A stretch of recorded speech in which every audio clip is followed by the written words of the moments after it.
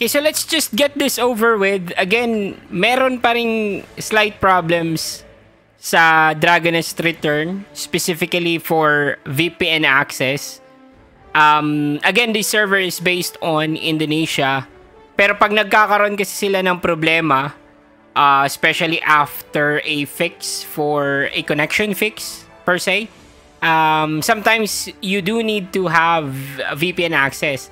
Again, meron namang guides sa Discord nila. The Discord uh, page will be linked in the description below. But uh, then again, just to make it simpler, I will give you those links as well. So we do have two links that we need. These are the uh, links for the VPN itself and uh, the configuration files that you need to use for the VPN. Links will be provided below as well. So, all you need to do is to open up, again, syempre, a basic browser. So, just copy the first link and it will automatically download the VPN itself. Um, for this tutorial, I've already uninstalled the VPN para meron kayong guide kahit papano. And then all you need to do is to open up the file which is here. So we need to run it. Of course, just accept the terms. Yada, yada, yada. Now, all you need to do is to download the configuration files as well. Um, I've already done that, so I don't need this drive link. Um, but then again, all you need to do is, ito, ito yung una nyo makikita. This is the introduction for the VPN. Again, the name is OpenVPN, but you can have other VPNs such as Aman or even a few VPNs that has a direct connection sa Indonesia. I've already tried that. Uh, I also used a VPN connected to Japan and it worked. So that's a few things if you don't like um, VPN like this one. Or if you already have your own VPN. So yeah, just skip this. And then all you need to do is to agree, okay, okay, and everything. So dito sa import file, you will see a URL option or a file option. All you need to do is to go to the file option. Now, you need to browse the specific um, configuration file. So, dun sa file na yon, they are going to be four different configuration files.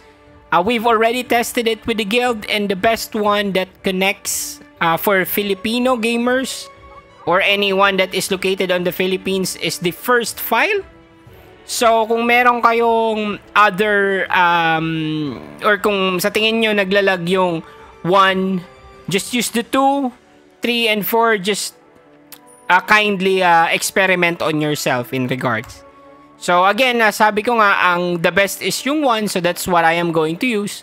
So just hit open. Here, uh, the host name, you don't need to remove that.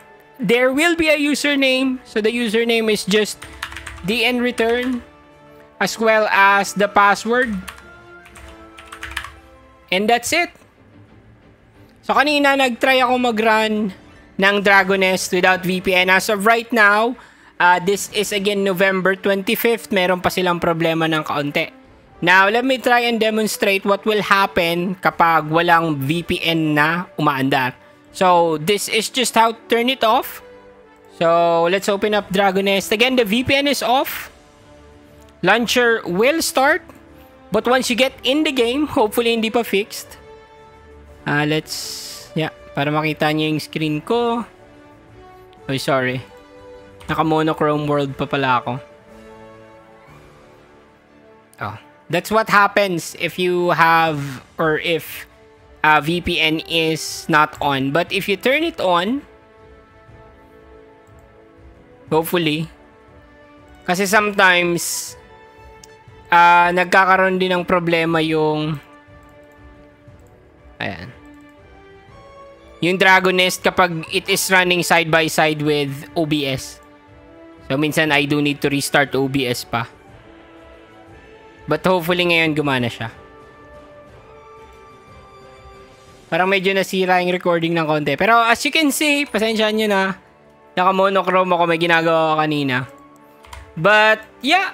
This is already working just to test. Nakita nyo na yung username ko but it's okay. Ayan.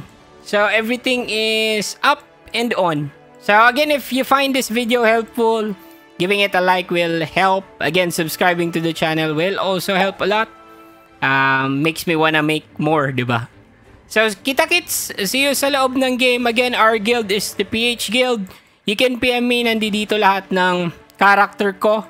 So, you can either choose or you can choose any one of them to PM for uh, a quick acceptance sa guild. So, yun na muna. Bye for now.